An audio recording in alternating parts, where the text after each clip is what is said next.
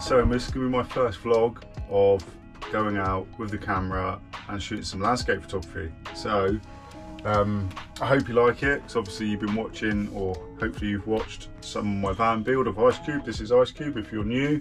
Um, there are some vlogs and videos of the build and they're still going but this is my landscape photography what I absolutely love doing um, it's my job landscape and architectural photography and we've had loads of rain loads of wind it's autumn but all the leaves as you will see on the walk have been blown off more or less and and then the ones that are still there still turning so not brilliant for autumn colors but there's loads of rain and there's a bit of a river that I'd like to photograph with, with the um, with the amount of water flow.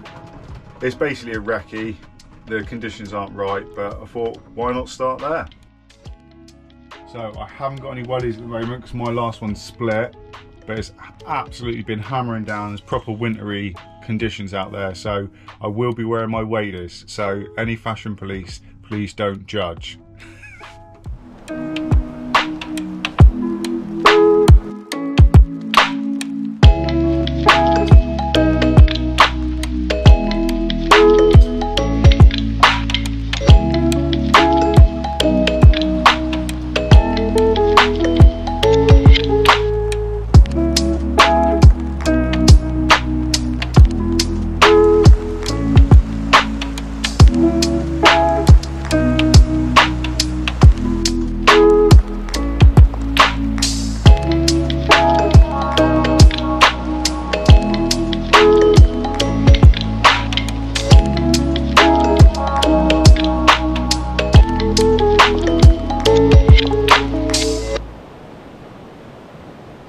So, like I said, this is my first vlog and I want to say hello.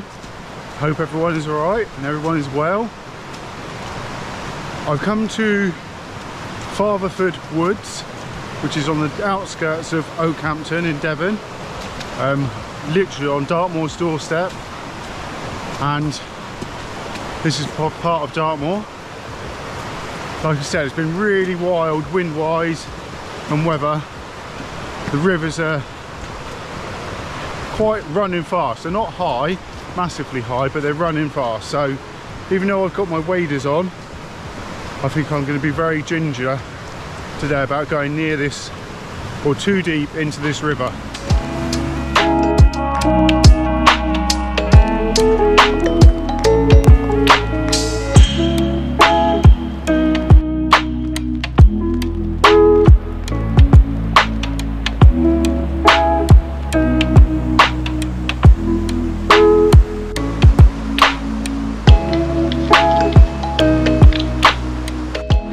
said, even though the conditions aren't brilliant, there's a couple of spots I'd like to see what it looks like with this much water. So there's two like mini cascades, quite small cascades on this main river. And then just up here, there's a fork and there's like a smaller stream that will join this one. And there's a beautiful, beautiful scene up there and there's that little river or the little stream. I'll be really interested to see what it looks like with more water in it. But here today in the main one it's pretty good pretty cool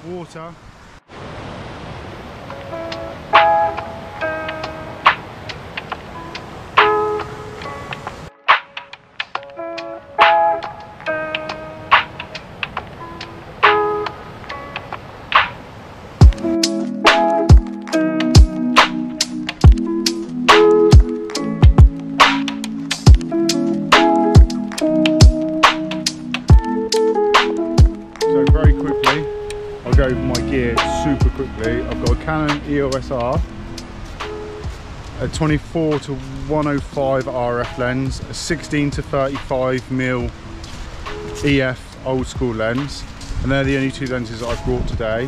I have an absolutely fantastic tripod, Leo photo tripods, super sturdy no matter what the wind. My old trusty f-stop bag. I've had this many years, as it's broken, but it's just absolutely brilliant bag. Lee's filters, which is a must for my architecture and the landscapes. At the moment, today I've got my polarizer. I've only got a polarizer and a big stopper with those, with the Lees or any filters. Um, I will not need the big stopper at all. A 10 stop filter today, the polarizer will be enough to just give me that little bit of motion. Um, yeah, that's it for camera wise. I'm not sponsored at all with any of the companies. Um, so that's just my recommendations. That's what I use full time in my architecture and landscape photography. So this is the clearing. I love this part of Fatherford Woods. The clearing is just beautiful. Look at all these colours. We've got a lovely stone wall that runs all the way up, up the hill all the way. And look at this oak tree. Look at that. It is a phenomenal oak tree. I've got a, a really nice shot here. Well, I really like it. Um, it's that kind of composition, roughly ish, uh, panoramic, and you've got the stone wall running all the way up out of sight, and then this grand old funky oak, um, some rocks, moss covered rocks up there. It's a really nice scene, really nice scene. Um, so this is the little river that goes down into the big river that I wanted to check out. So let's go see what it looks like.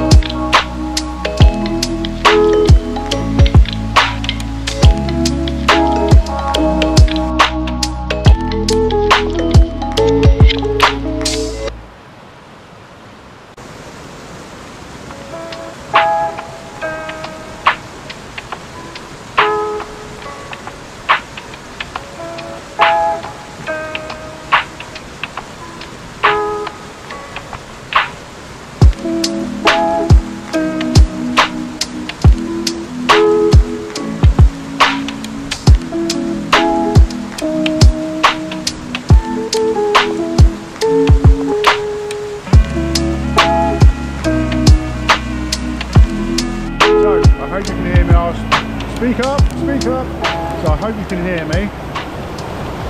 This isn't going to be a portfolio shot by any means, but I think it's quite a nice shot. Um, I'll give you a look at the back of the camera. So we've got kind of, you can see that. So we've got a light, a line, I've got some nice ferns on the log here, and then a nice leading line of the river up to a really nice kind of bright patch so I'll probably kind of keep this well as you can see on the camera this is all quite dark anyway and then it's brighter up there. So I'm hoping the river will be a nice leading line. I shot my settings on the shot are f7.1 100 ISO a quarter of a second. And a quarter of a second if I try and show you there's real cool texture.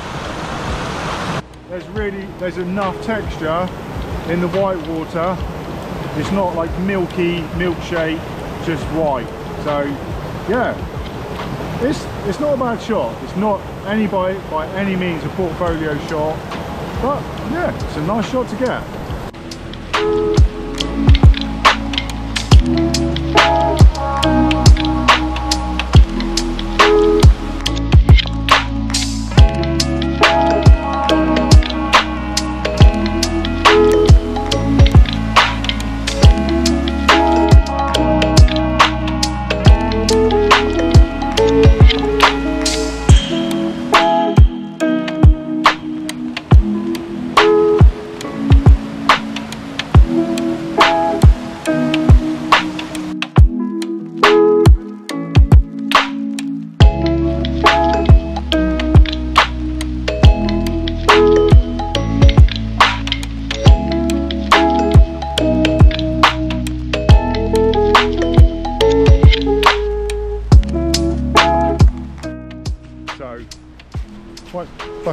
frustratingly, the sun's come out.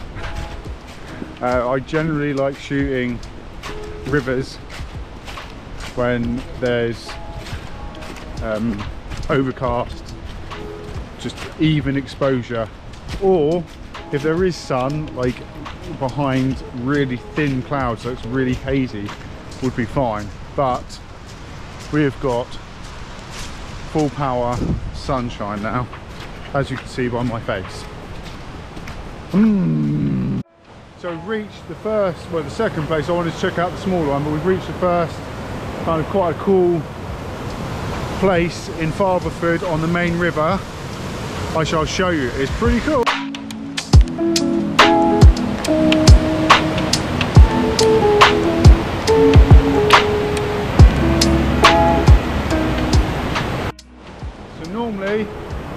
The water is not flying down over this rock here so obviously there's enough water for it to spill over that little bridge there. It's a nice sea it is a nice sea it's going to be super slippery I've got to be careful. Um, let's see if I can get a shot here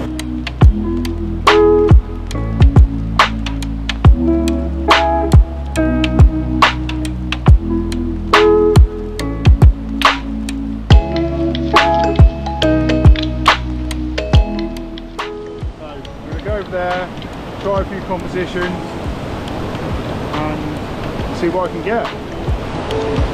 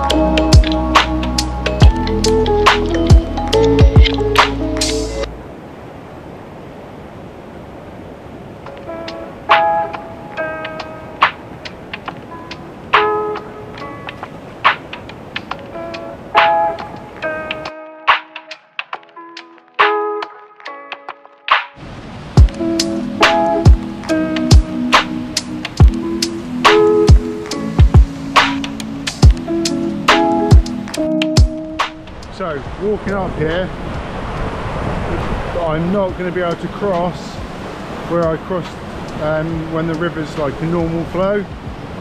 It's just going to be too gnarly, way too fast. So I'm not, unfortunately, not going to be able to get the side I'd like to get for the waterfall. So I'm not sure whether I'm going to get you can't even get a composition of it um, like here you go look. Show you show this believe it or not this is where I crossed in shoes just rock hopping the other week and I can't even see any of the rocks. Um, and then it, it goes around and just over there is the actual waterfall. But there's no way I'm going to have to cross there. The path goes up there, so you could shoot from up there in, but there's just really heavy foliage there, so that's really disappointing that I can't get across. But let's go and have a little look at what, how it's flowing. to see what it looks like with this much water coming down it. Oh, just filtered over the other, over the edge of it. Um, let's have a look, ready? Oh. So that's the normal waterfall and then it's spilling over that side. But it's too much. Just looks like a torrent of water going across. That won't photograph very well at all. So, oh well, it's nice to see. Good to see it, this at this flow. But it's quite nice. It flows all the way up and around. But it's just unfortunate all these trees and foliage kind of getting, getting in the way of the composition. I hope you can hear me because it's really loud um, the water flow today I shall see on the computer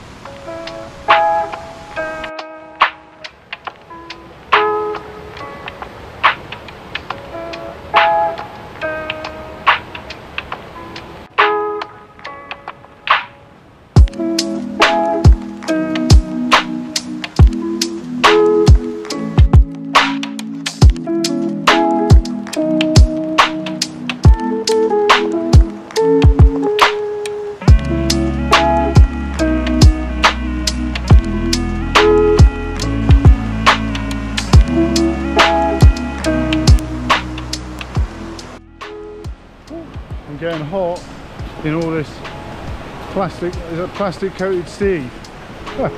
um, thank you so much for watching. I shall now put some images on from today. You've probably seen some already.